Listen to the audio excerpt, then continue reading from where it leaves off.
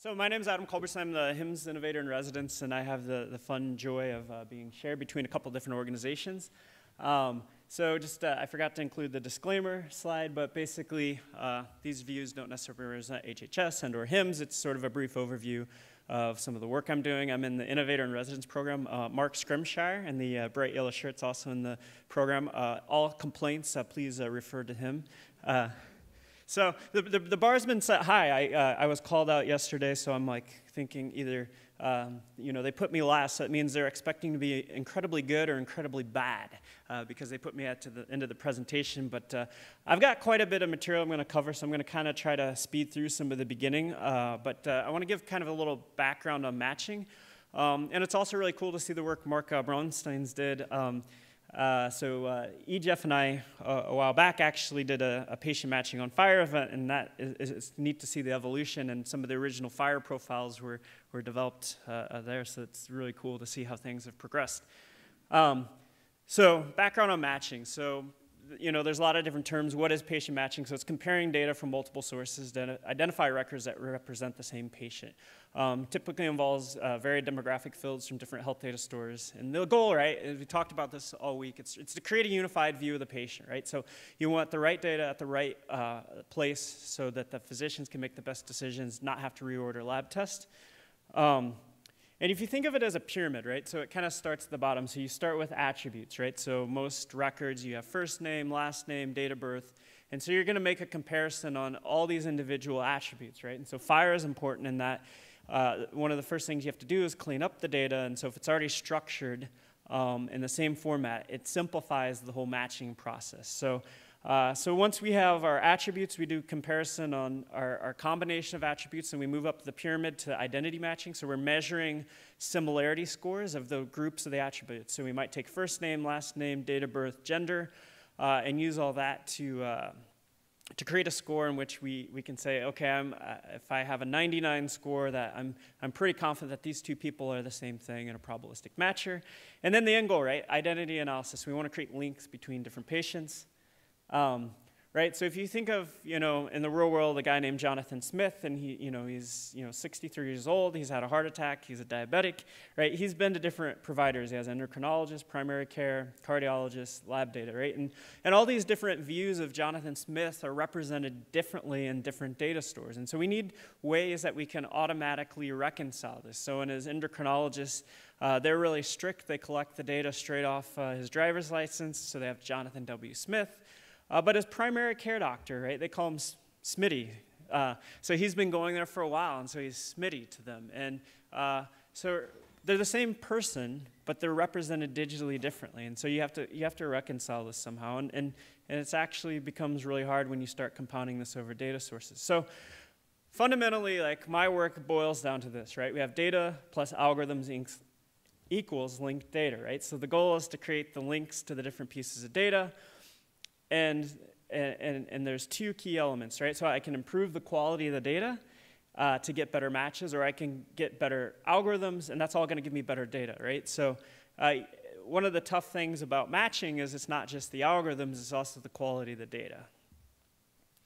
So I just include this. I'm going to just kind of fly through this. Have some significant dates in patient matching with some of the different algorithms.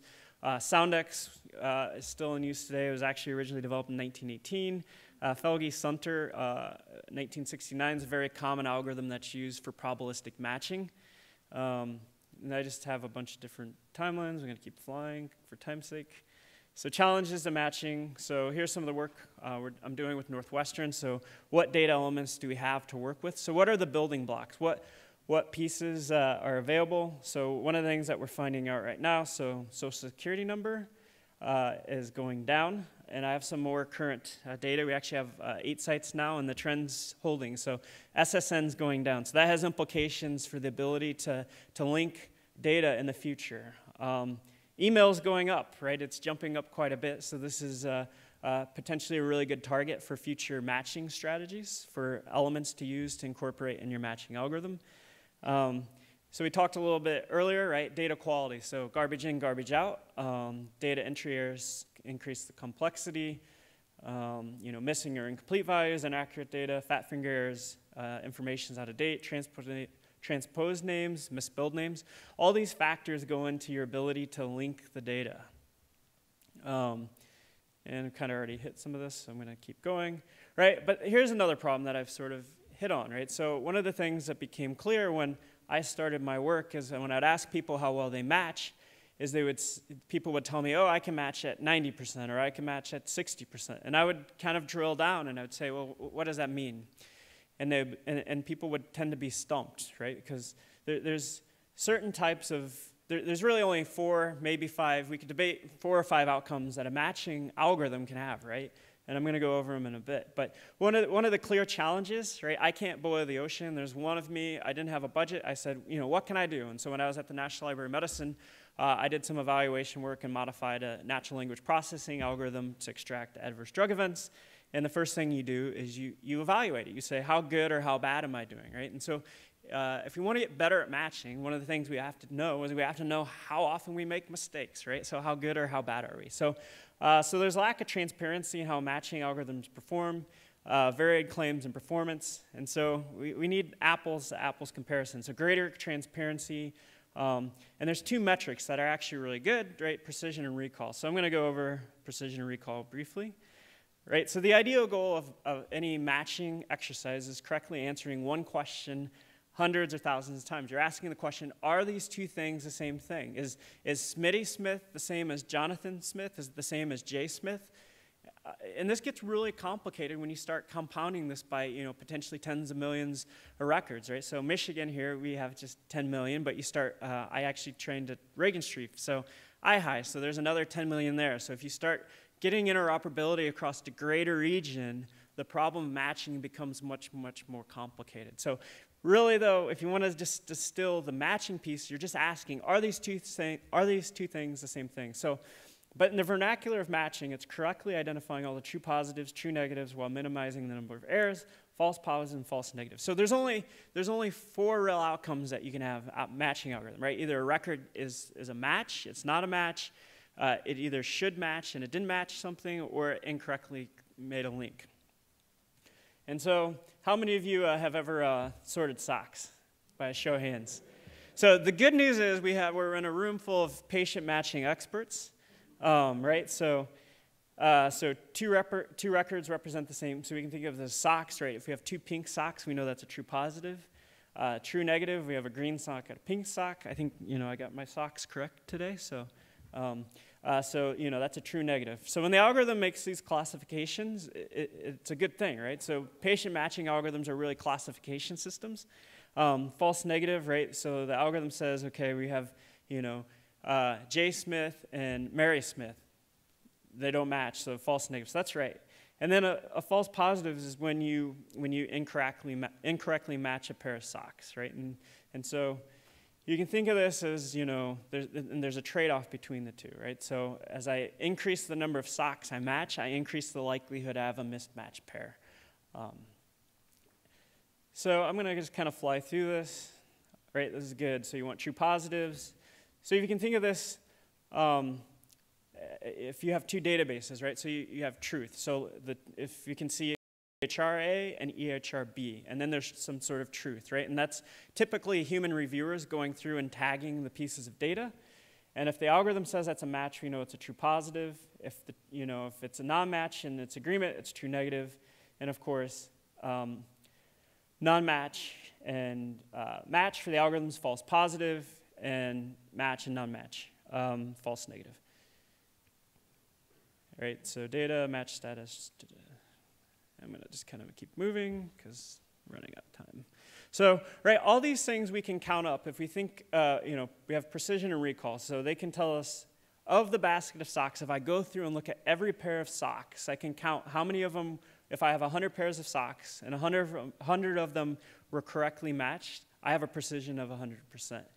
Um, if I go through and I have some uh, recall of 100%, that means every sock had a pair, right? So so in some cases, I may, you know, want to have higher precision over higher recall. Healthcare, we tend to favor precision over recall. Uh, in national security, we tend to favor um, uh, recall over precision because we tend to think it's, uh, it, would be a better outcome to, you know, accidentally screen more people through the airport security line than have somebody get on the line on the airplane and, and you know do something bad. Um, so it's pretty simple math. Um, so I'm going to go through a little bit of some of the work I've done. So I thought, hey, this is a great idea. I, I started my fellowship. So one of the first projects I did was evaluation of some patient matching algorithms. And so uh, uh, Mark talked a lot about how hard it is to get data. And so it actually is really hard to get data. And, and, and it's an essential component really to, to doing anything in matching or really building any sort of model is you have to have data. So um, I did a lot of searching, a lot of questions. Uh, and, and settled on, uh, found the University of Texas, which had already, you know, really built this uh, data set that had been tagged. So in other words, human reviewers went through the different record pairs and said, this is a match, this is a non-match, right? And, and so they, this is representative of 2.6 million records. So they randomly selected 20,000 record pairs for manual review, uh, reviewed by two reviewers, split into training and test data. And so I thought, hey, let's, let's see what we've got out there in open source, so no budget. So we start with what's free when you don't have a budget. Um, and so we chose the three. So Febrl, freely extensible biomedical record uh, linkage system, developed by a guy named Peter Christensen uh, in Australia. Um, and it has data cleaning model. It's a hybrid model, so it uses probabilistic matching, uses fuzzy string matching, and also some rules. Um, Dr. Christensen uh, has done some really great work uh, on matching. He actually has a really nice textbook. If you uh, if you're if you really want to just geek it out on uh, record linkage, I would I would highly recommend it.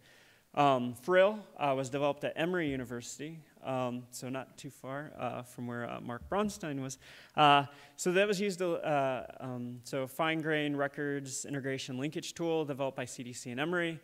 so used to link birth defects monitoring program uh, and uses uh, machine learning, probabilistic matching, and then ChoiceMaker, um, which is a pretty good system. It's uh, used, New York Department of Public Health used to link uh, immunization and lead registries, so I have a pretty good uh, relationship there with the team that runs that, and I've, uh, I've been really fortunate to have a lot of really good inter interaction with them.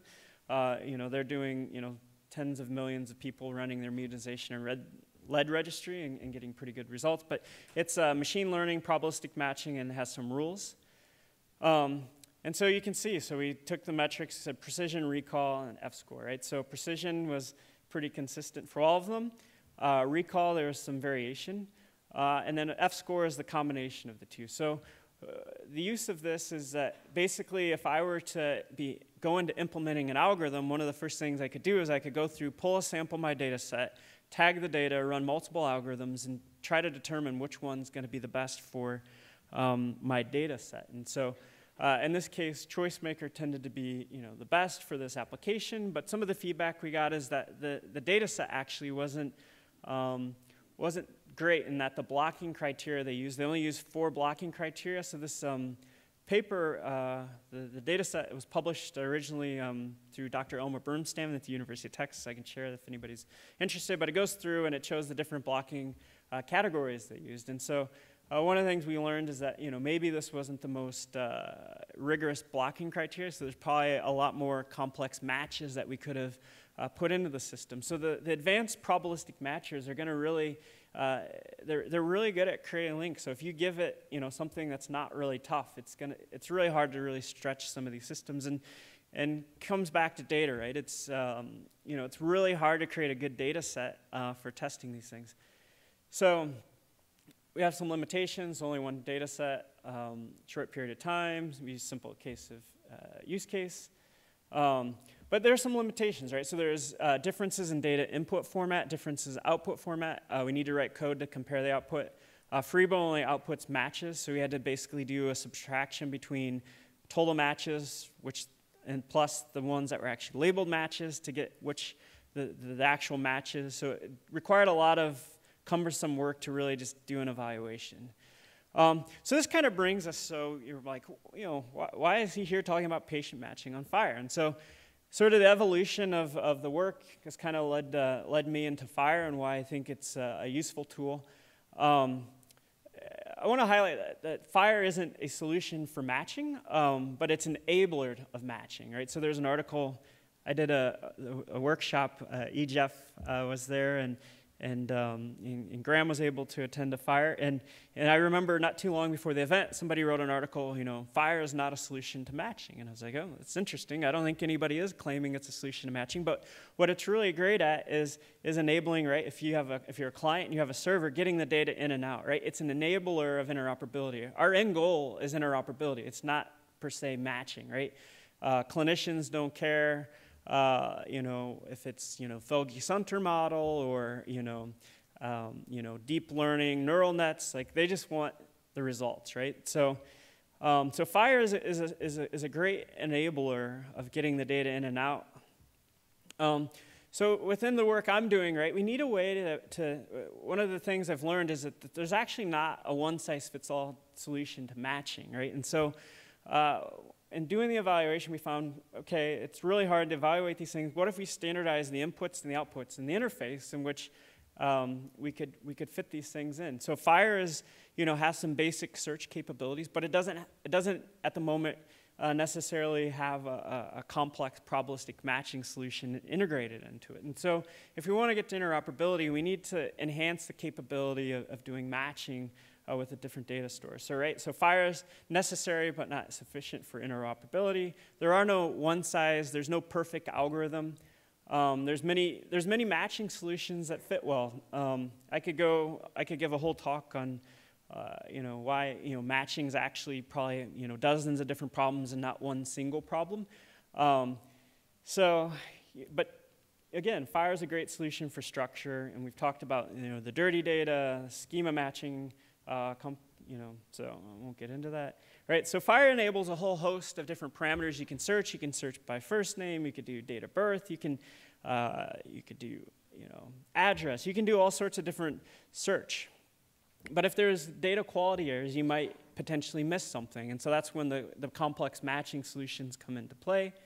And so how can FHIR help? Well, FHIR can help in that, uh, you know, current matching systems, you know, all have different systems. So if we could standardize the, the matching score, um, if we can, uh, you know, so we talked about the outcomes. So, you know, potentially we have probable, possible, pro uh, probable, possible, certainly not. There's different categorical ways we can label the, the, the groups. So we could use some categorical label, or we could also use a scoring mechanism. If it's standardized, it makes it easy for everyone to interpret, right? If I have three algorithms and they all use a different scoring system, it makes it really hard to interpret it, right? And um, I don't know, how many of you are familiar with Smart on FHIR?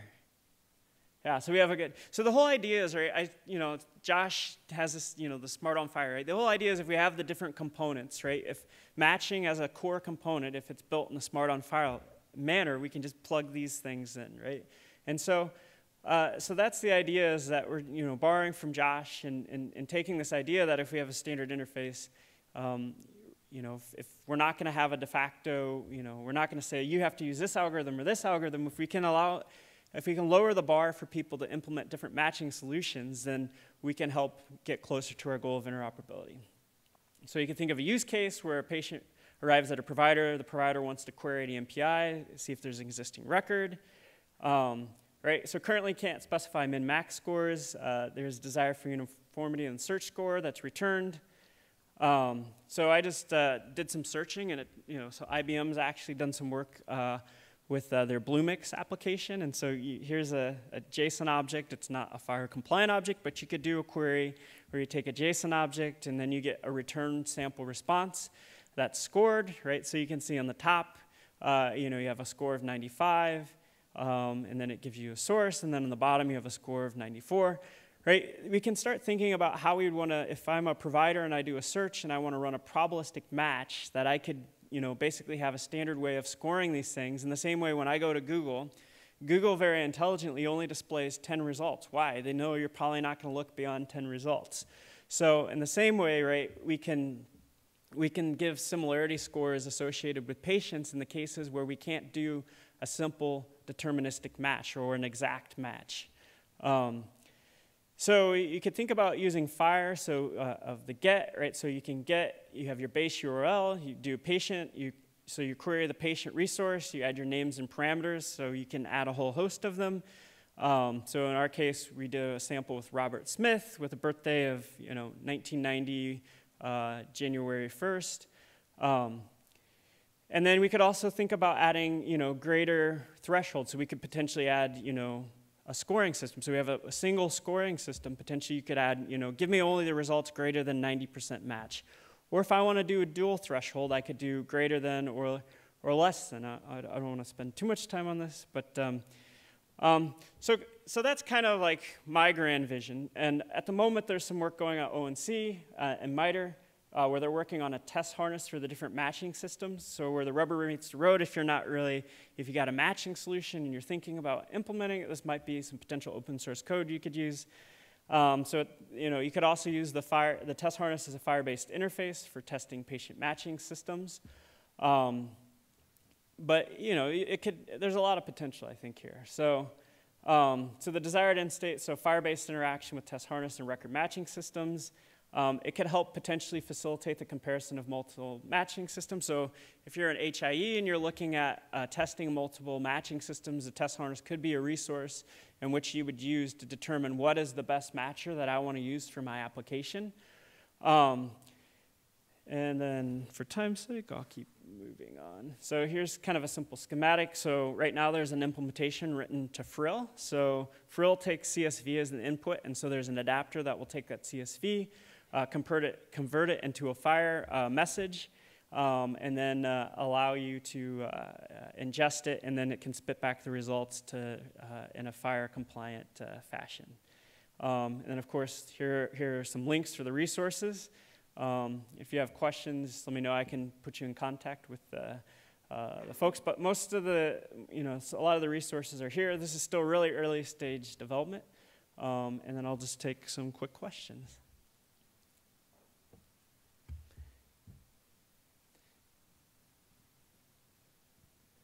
Can you clarify again what blocking is in this context? Uh, blocking, so when you, ah, I wish I had some backup slides.